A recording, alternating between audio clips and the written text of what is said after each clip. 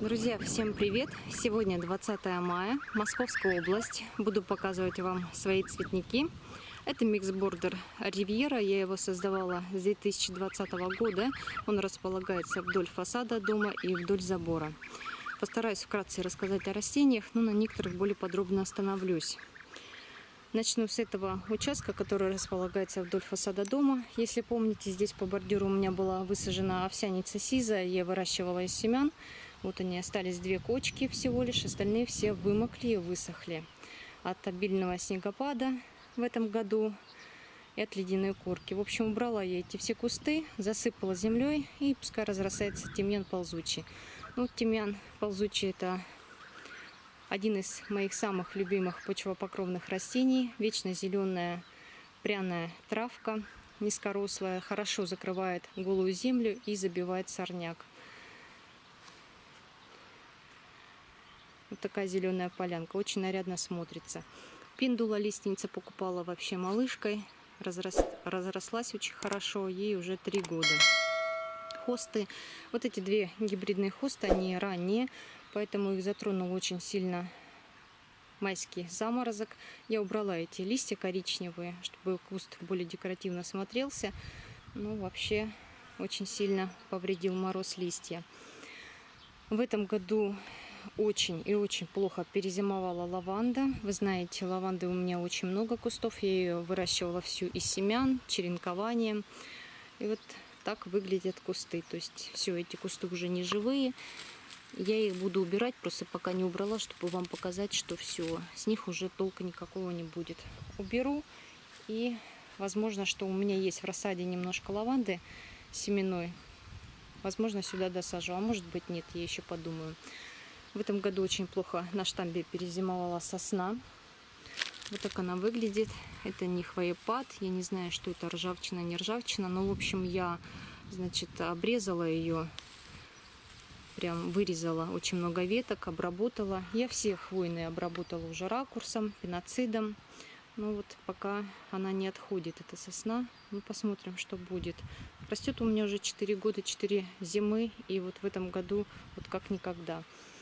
Гортензии крупнолистные. Это две гортензии. Вот это и вот это. Это из серии Солонг. Солонг Сани и Солонг Роуз. Вот так она выглядит в майске. Когда были морозы, я, конечно, их закрывала, знаете, лучше, чем зимой, в общем. Ну, вот такая она, видите, маленькая. Но я думаю, отойдет и цвести она будет, потому что это ремонтантные сорта. Вот они, хосты у меня все высажены. Они попозже э, вышли из зимы из земли, поэтому их не сильно тронул мороз майский. Почвопокровники, вот они растут. Dragon, Dragons, по-моему, сорт. Вот они, горные сосны, отлично вышли из зимы. Гортензии э, метельчатые, вот это самая хорошая. Ее не сильно тронул заморозок. А вообще, конечно, листья в этом году у гортензии очень сильно повреждены. Это лиственница Сепвипер японская. Растет у меня уже тоже здесь 4 года. Я штамп подняла. Вообще я отдельно сделаю, значит, видео о лиственницах, которые у меня растут на участке их. Сколько у меня?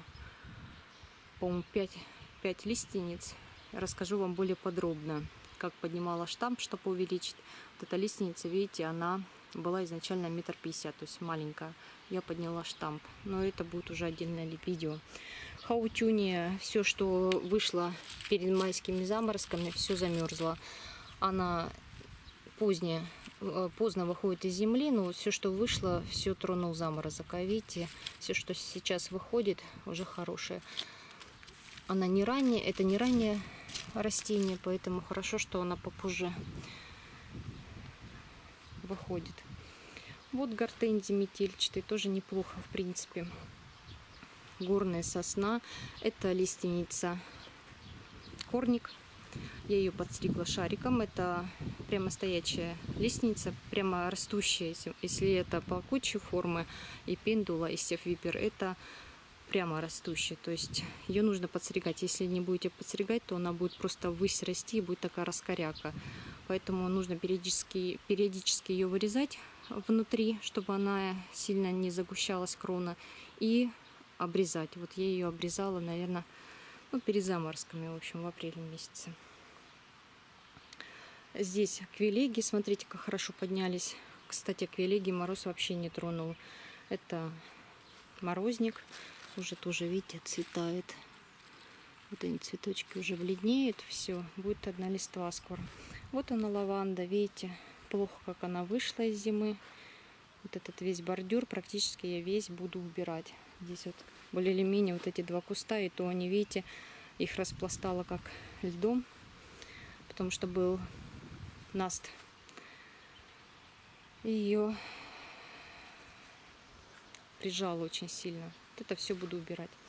Так, давайте зайдем. Видите, здесь у меня опять-таки я рассаживаю потихоньку этот чебрец. Как вы помните, здесь у меня был кизильник блестящий, кизильник горизонтальный. Тоже вечно зеленый почвопокровник, но он э, чуть выше, наверное, 10-15 сантиметров от земли подымался. Ну, он такой, знаете, а легкой подушкой рос. Я его убрала. Объясню почему. Потому что его я поняла, что нужно сажать как монопосадку все-таки, потому что забивает он растения. То есть если у вас будут расти где-то хосты и или барбарисы низкорастущие, то он сверху накрывает и глушит все растения. Поэтому его нужно сажать или среди вот таких высоких, допустим, можжевельниках в ноги, да, или монопосадкой забивает очень сильно и ничего не растет. Поэтому я убрала и посадила сюда. Сейчас это, конечно, очень плохо видно. Это мои черенки гортензий метельчатых. Они были все зеленые, но, видите, мороз ударил. Но я надеюсь, что здесь отойдут почки, будут. Здесь хосты, видите, у меня в общем, вот они, гортензии. Это мои черенки прошлогодние. Кстати, они были в прошлом году уже цветущие. В трехлитровых горшках уже росли. Сделала низкую обрезку. Видите, мороз. Вот он, проборис. Вся середина полностью высохла. Пришлось обрезать. Такой красивый барбарис. Ну, здесь хвойные это скальные можжевельники Blue Row. Они у меня здесь вдоль всего забора высажены. Вот тоже не очень хорошо перезимовал. Это минджулип, можжевельник. Пришлось вот эту всю середину мне вырезать. Она была просто сухая. Здесь лед лежал со снегом. Вот так вот. И осталось, видите, здесь там сколько? Пять лап оставила и все. Вот они уже на цвету. Это квилегии, это все из семян я выращивала. Здесь разные аквилегии, и махровые, и простые, очень красивые. Отцвел репчик королевский, очень красивый. Вот смотрите, какой красивый. Это я из Сочи привезла. В прошлом году, по-моему, это морозник. Вот они, квилегии, красавицы. Мне не очень нравятся. Из семян лилии. Я их накрывала, видите, немножко коричневые. Я их накрывала они были маленькие, накрывала э, горшками большими, поэтому не особо их тронул мороз. Вот они, гортензии. Это гортензия крупнолистовая. Я покупала в прошлом году. Три сестры, по-моему, называется. Полностью все было в листиках. Видите, я все пообрезала. Вот, слава богу, идут почки. Посмотрим, что будет. Вот такая красивая на штамбе голубая ель. Смотрите, уже раскрыла все приросты свои. Это колючие. А приросты очень мягкие, небесно-голубого цвета. Штамп очень низкий. Видите, там даже ножки не видно уже. Так, пошли дальше. Смотрите, как красиво смотрится чебрец ползучий. Это буквально я рассаживаю небольшими такими куртиночками. И он разрастается, образует такую общую поляну зеленую, вечно зеленую и пряную.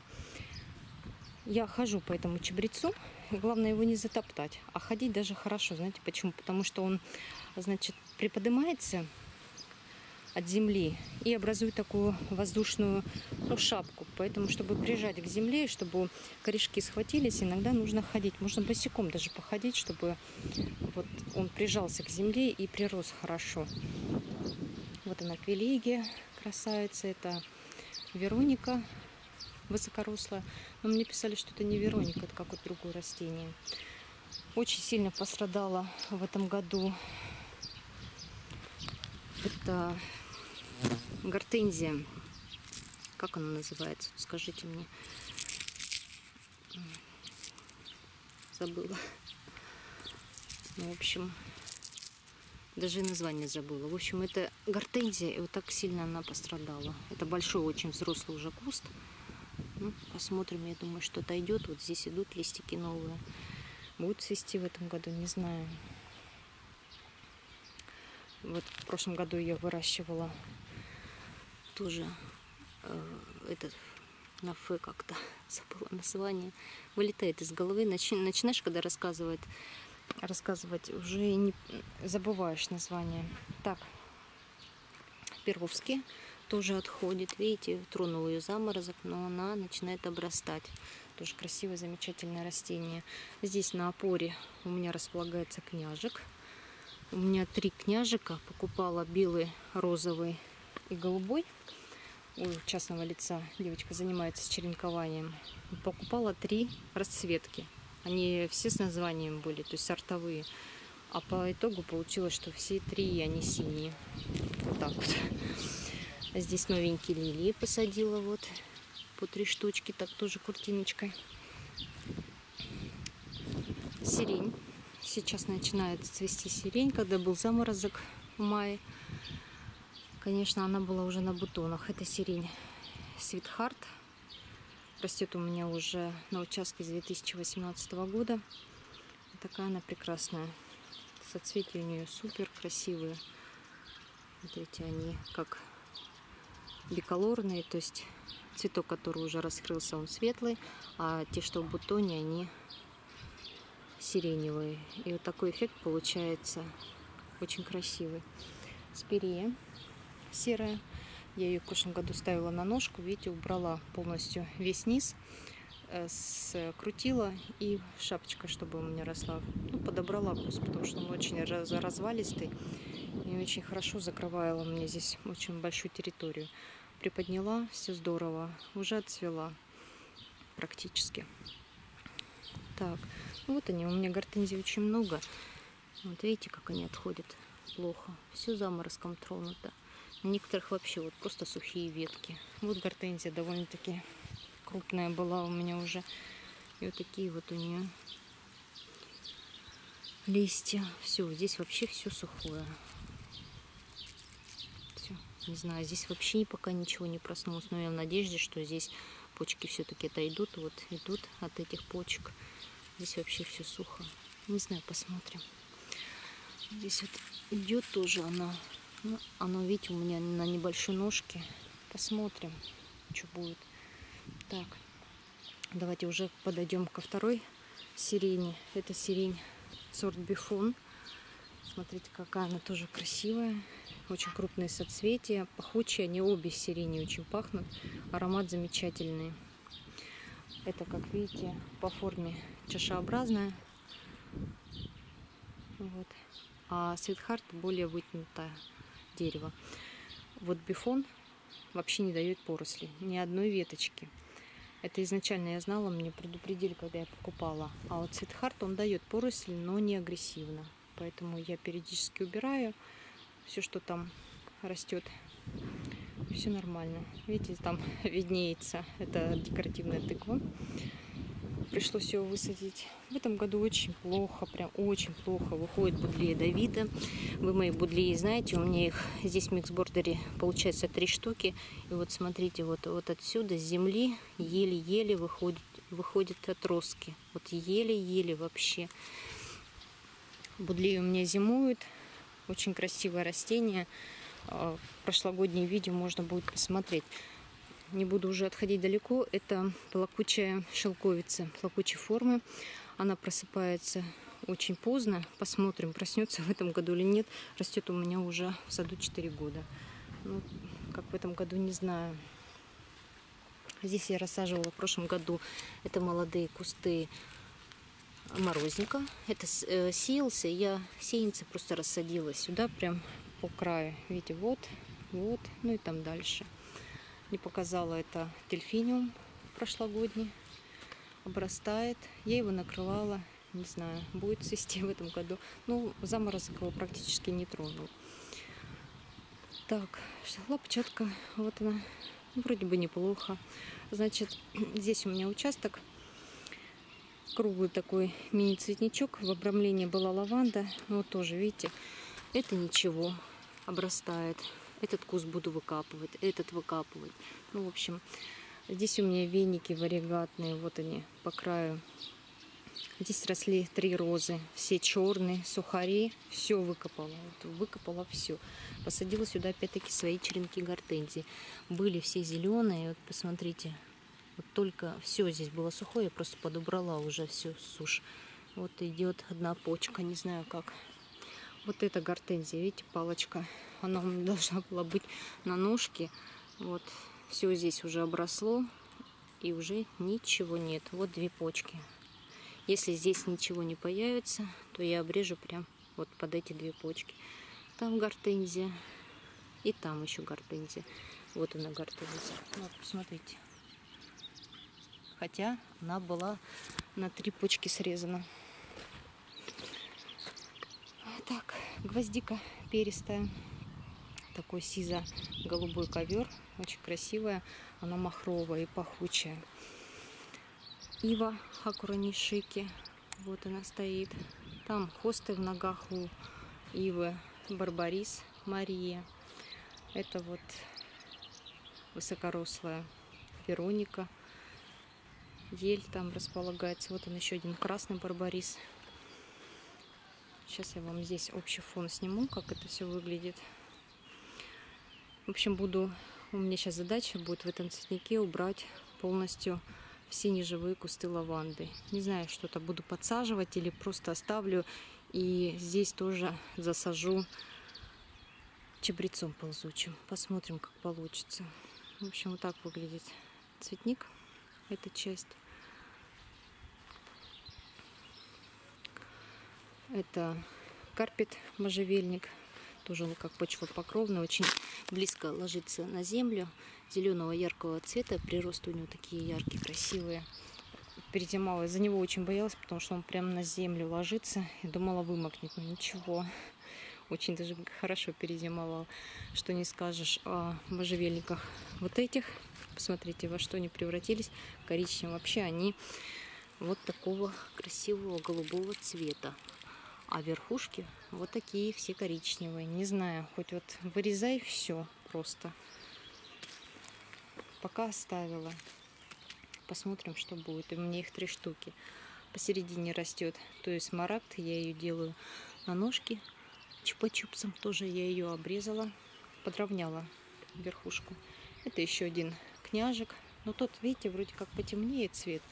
А этот посветлее. Вот такой княжик на опоре. Но все равно, когда покупала, хотела, знаете, покупала это три цвета. Хотелось, чтобы и три было. Но вот видите, у частного лица купила и такой небольшой обман. Вот он, барбарис. Такой красивый был. Он красно-оранжевого цвета, что ли, был. Вот все, полностью высох. Ни одного листочка не проснулось. Не знаю, что ему нужно было. Вот еще будлея Давида. Но здесь вообще, смотрите, какой у меня уже был куст, какие уже ветки были толстые. Шикарный, высокорослый такой сорт. Темно-сиреневые метелки, очень красивые. Ну, не знаю, что случилось. Глициния Блюмун, вот она на опоре. Тоже она вообще у меня просыпается очень поздно. Конечно же, она у меня еще ни разу не цвела. Сидит здесь уже 4 года. Вот не знаю, затронула ли заморозок почки вот эти, но она от корня идет. Вот она. Ну, она не от корня идет, а от вот этих нижних почек. Вот видите? То есть здесь что-то живое. Она у меня растет просто как лиственное такое, знаете, лиственная ля, лиана. Листья у нее красивые, такие рассеченные. Ну, конечно же, она мне ни разу не цвела. Вот гортензия, пинки-винки. Ну вот посмотрите, что такое. Здесь хоть что-то, а здесь вообще вот еле-еле просыпается. Но я надеюсь, что она отойдет. Тоже можжевельник. Это пихта корейская, красивая. Все, она отошла. То есть я имею в виду, она это, перезимовала неплохо. По-моему, она должна здесь у меня шишки уже дать. Видите, были у нее шишечки. Ну вот они, наверное. Вот, красивые фиолетовые шишки были. Ну, посмотрим, как в этом году, в общем. Так, вот кусты лаванды. Взрослые уже им по 4 года. Вот эта лаванда перезимовала. Видите, ее сразу видно. Ну вот, чуть развалила, конечно. Ну, баданы отцвели уже. Хосты. Вот они. Тоже затронул их заморозок. Видите, коричневые. Там ранняя хоста, поэтому... Вот моя еще э, метельчатая гортензия, видите. Еле-еле вся была зеленая. Вот они все почки были проснувшиеся. Ничего нету. Так, тоже гортензия. Ну, в общем, здесь у меня такая композиция. Растет ко мне ломка. Это розы.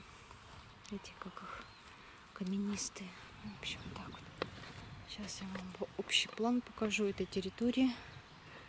Вот так вот. Так, хочу ответить на несколько вопросов, часто задаваемых. Значит, первый вопрос, почему у меня не растет трава миксбордере? Друзья, ну, конечно же, она у меня растет, такого не может быть, потому что я не пользуюсь ни гербицидами, ни вот этими всякими препаратами, чтобы трава не росла. Во-первых, у меня а, здесь, вот по вот этот вот э, столб, здесь все накрыто укрывным материалом, чтобы трава не росла. И сверху толстый слой Э, конской подстилки. Вся остальная часть миксбордера, э, подстилка конская, она лежит просто на голой земле. Но изначально, когда создавала я этот миксбордер, я сначала стелила картон, а сверху толстый слой вот этой мульчи. Друзья, она очень и очень сильно спасает от травы сорной, потому что здесь вот такая трава была, пырей, и все такое. Но прежде чем здесь вообще что-либо делать, высаживать, здесь два раза вручную лопатой перекапывалась земля и вытаскивался каждый корешок. И мы это делали сами, по большей части. Здесь была моя работа, а вот эту часть мне уже, конечно, помогали, потому что очень-очень сорный был участок. Вручную все перекапывали и вытаскивали каждый корешок. То есть, что, чтобы создать вот этот миксбордер, была очень сильная подготовка к этому делу.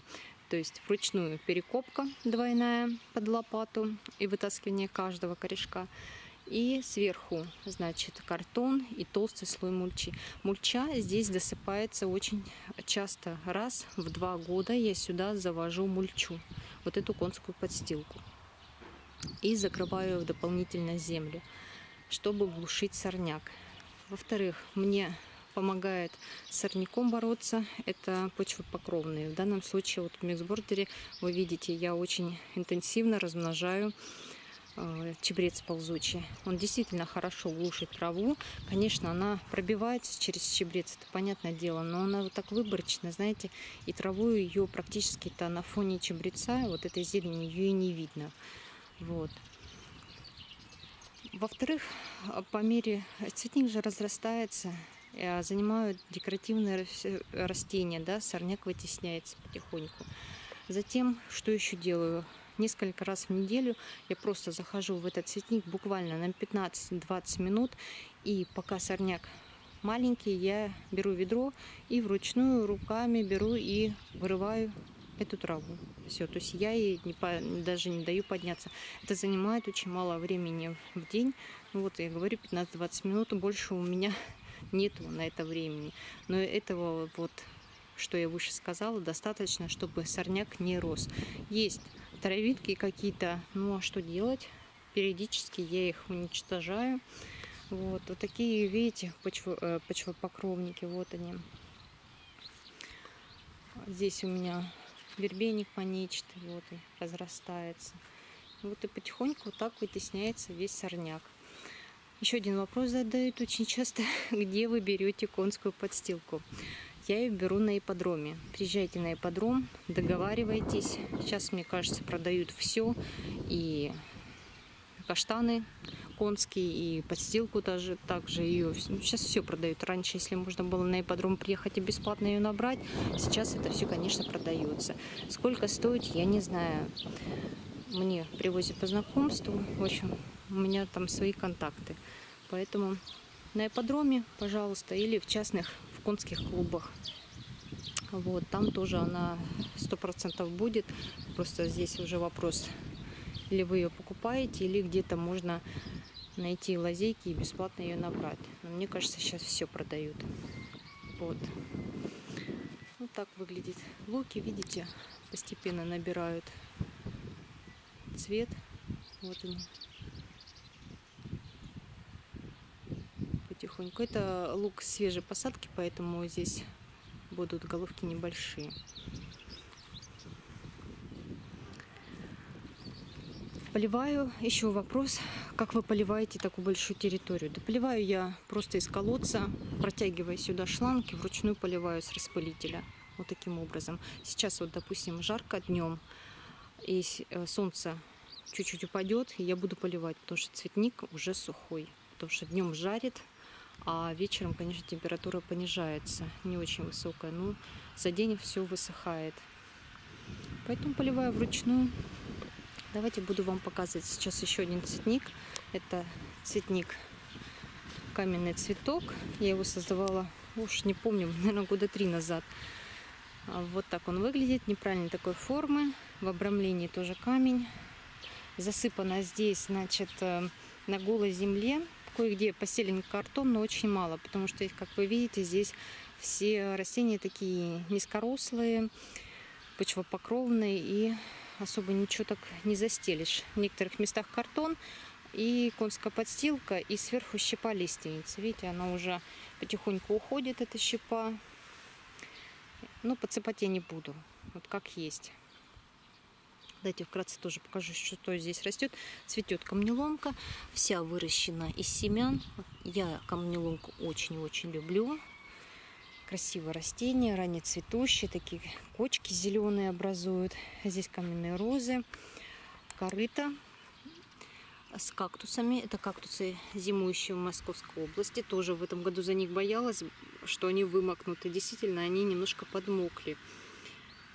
Они на возвышении, здесь самое главное, это их на возвышение посадить, но все равно снег, лед лежал, и некоторые кактусы покоричневели, я их подубрала, в общем.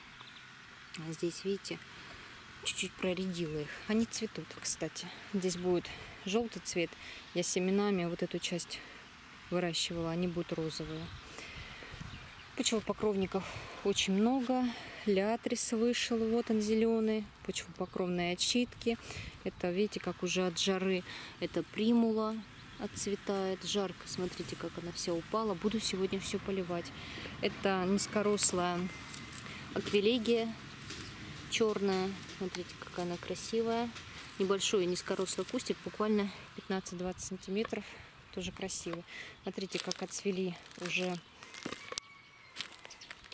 сон трава, вот забыла, как они точно называются, белого цвета. Вот он. Это прошлогодняя посадка покупала.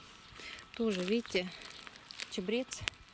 Здесь небольшая композиция.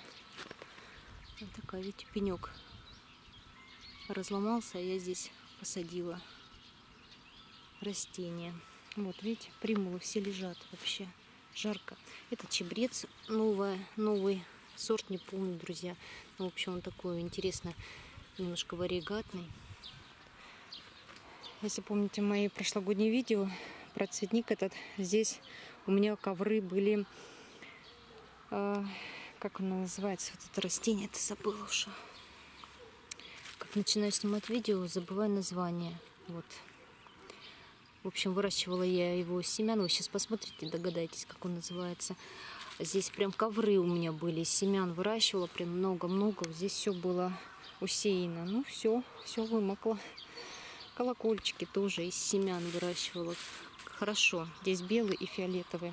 Мшанка шеловидная, если помните, у меня здесь полностью ковер зеленый был, красивейшая мшанка. Но все, ее нету, она полностью коричневая, высохла, вымокла. Я сюда мальнянку посадила. Я вам показывала обзор растений своих. Это выращивала мульян, мылья, мыльные, короче, растения. Я потом название точное вам напишу. Вот тоже сон трава. Такая красивая. Красивый цвет, прошлогодняя посадка. Вот они, почвопокровные очитки. Видите, зеленый. Это из семян я выращивала Астра альпийская ассорти. Здесь разные белые, розовые, фиолетовые. Вот такого, видите, вот в таком состоянии сизая овсяница. Все, они полностью сухие. У меня здесь было сколько кустов. Один остался, все. Полностью все высохло, вымокло. Смотрите, прошлогодняя посадка. Это кошачья лапка. Давно хотела это растение, я его в прошлом году купила маленькой-маленькой куртинкой. И смотрите, вот серединка выпрела. Не знаю, ну что ей надо. Смотрите, какая она красивая. Вот очитки желтые, лилии, вот они. Это восточная белая сибирика. Вот она лилия. Я эти лилии накрывала, поэтому они в таком хорошем состоянии. Белая камнеломка тоже из семян выращивала. Красивая роза. Вот она. Это роза из горшка, который вот продают. На 8 марта обычно дают. Вот она растет у меня уже лет 5 или 6. Ну, здесь, видите, каменные розы, отчитки, хосты, вероники низкорослые. Здесь у меня корыто каменная с э, чебрецом. Мелкий такой, это другой сорт. И каменные розы. Вот он, чебрец тоже, это прям мелкий-мелкий такой. Тоже есть у него название. У меня, знаете, друзья, я сейчас, чтобы память совсем не напрягать, забываю, жарко, как видео снимаю, забываю название. У меня есть видео отдельное, чебрец в саду. Вот там полностью с названиями все виды чебрецов, которые у меня вообще есть. Меня их, по-моему, три или четыре сорта. Поэтому, кому интересно, Зайдите, посмотрите. Я постараюсь найти видео. Оставлю ссылку в описании под этим видео. Ну, смотрите. Красавица же камнеломка. Замечательное растение. Такая вот она. Красивая. Это ель Little Gem. Так, вот такой красивый у нее прирост. Это очень медленно растущее растение. Подушковидное. Вот еще один сорт чабреца. Это он цветет белыми цветочками. Если тот мисс Бордери Ривьера, он цветет фиолетово-фиолетовыми такими, а это чисто белый цветок у него будет. Как-то называется тоже. Вот. Это очиток. Не знаю, покупала как очиток Матроны. Не знаю точно. Можжевельник тоже низкорослый. А, звезда Золотая звезда, по-моему, называется. Ну, посмотрите, какой он вообще красивый. Прироста ярко-ярко, желто-зеленого, такого салатового. Не знаю, какой-то цвет.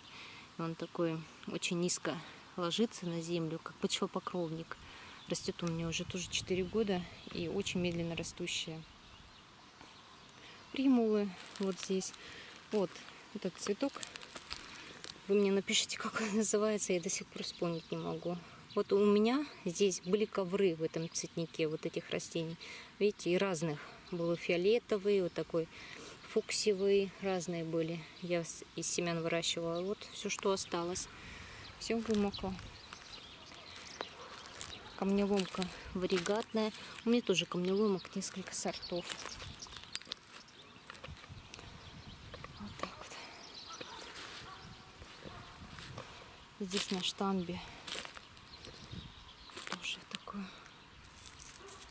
растет.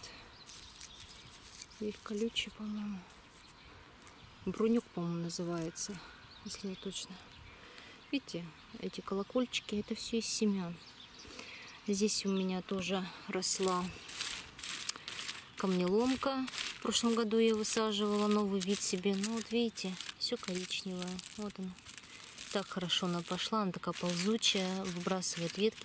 Но возможно, что она еще живет, потому что, видите, что-то зелененькое виднеется. Красиво тоже ползучее растение, выбрасывает такие веточки и расползается. Вот, бригадно, видите, тоже тронул мороз, коричневая. Вот такой миксбордер. Каменный цветок. Вот так выглядит. Сальвия тоже обожаю вот это растение.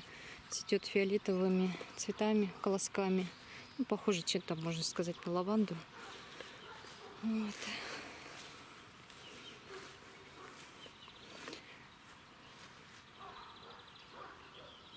Так, пойдемте я вам сейчас еще покажу цветник. Здесь был у меня,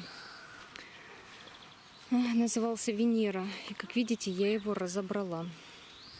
Он был тоже обрамлен кругом из камня.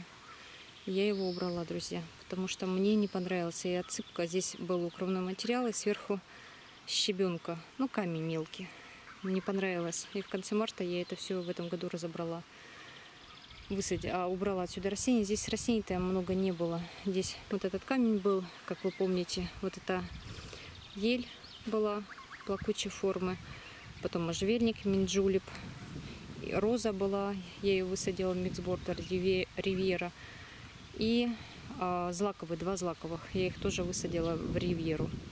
Я вам что-то там из злаковых мало показала, но у меня их там много. Они только выходят, отходят от мороза майского. В общем, все разобрала, убрала, чуть-чуть подсеяла травы, чтобы зарастало. Все. Здесь будет стоять, я уже заказала э, опору для клематиса. У меня клематис есть, я в этом году купила, очень красивый. Когда придет опора, я вам буду высаживать клематис и покажу и клематис, и опору. Вот здесь поставлю, ну еще не решила, где-то здесь или здесь будет эта опора. И все, друзья, больше здесь ничего не будет потому что вот мешало и ходить, и, знаете, вот, ну не к месту был цветник. Это, знаете, вроде поначалу красиво, а потом понимаешь, что ну, что-то не то, мешает. Убрала. Сделала сама, потом сама и убрала. Вот так. Здесь, как всегда, у меня стоит опора. Одна. Вот она. Вторая. На этих опорах растут лиственницы. Этим опорам уже, ну, сколько, по-моему, два года, да? Я их высаживала эти лиственницы. Это лиственница а, пендула. Сейчас я вспомню. Да, по-моему, да, это пендула. Она на низком штамбе. Видите, штамп здесь вот он. Есть это вообще здесь буквально сколько сантиметров 10. Это плакучая форма, и она у меня растет вот на этой арке. То есть здесь идея какова? Будет расти лиственница, и она вот так будет огибать вот эту всю опору и спускаться сюда. И образует вот такие плакучие ветки, и будет как такая, знаете, ширма. То есть проход в ту зону и проход в эту, в огородную зону.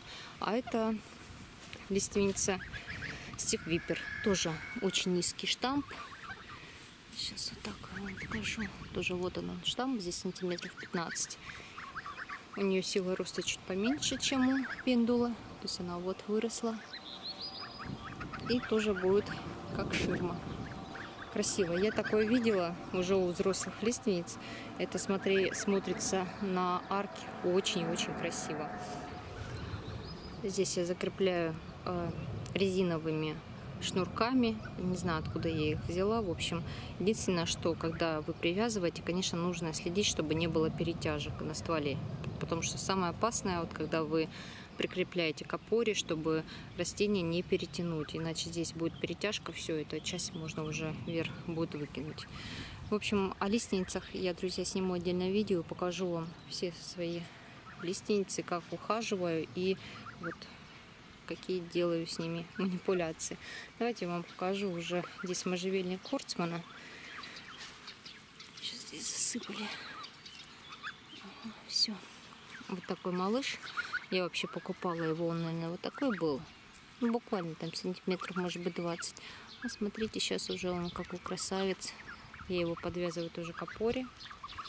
Вот такой малыш.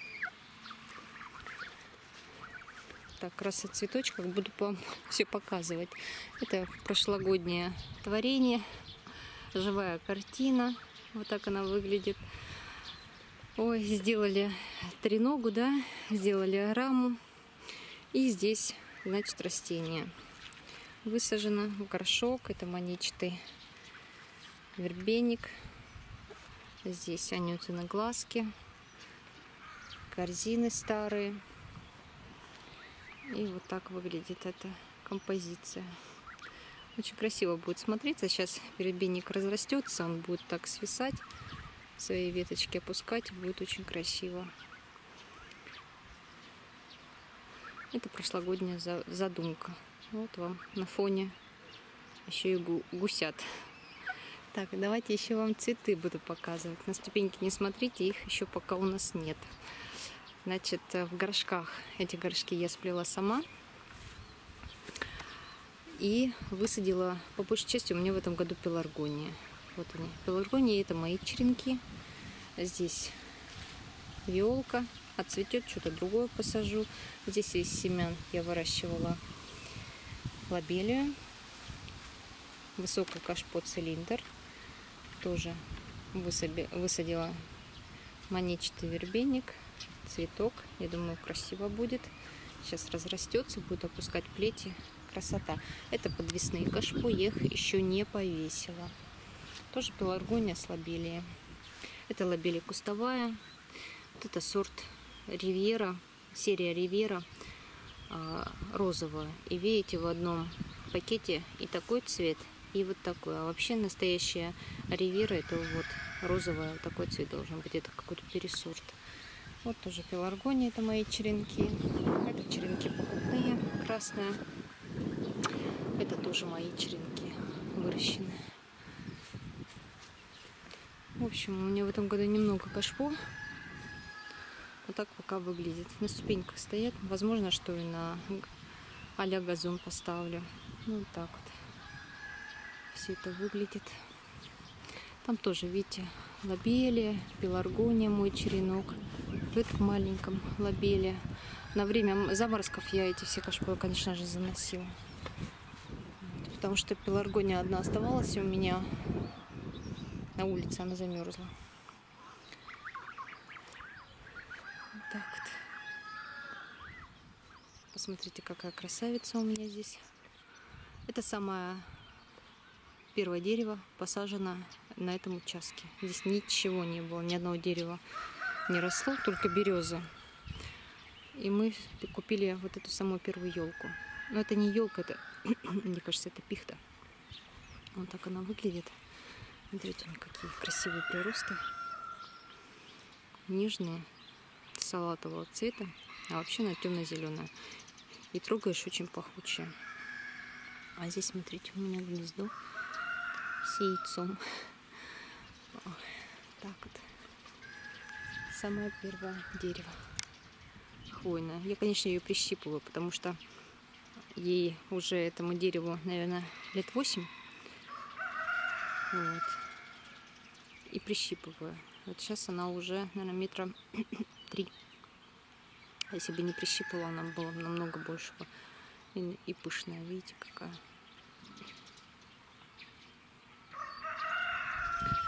Ну все, друзья, у меня на, на сегодня все. Показала вам цветник, цветники. Вот. Подписывайтесь на телеграм-канал, я оставлю ссылку в описании под этим видео. Приходите, подписывайтесь. Подписывайтесь на YouTube канал.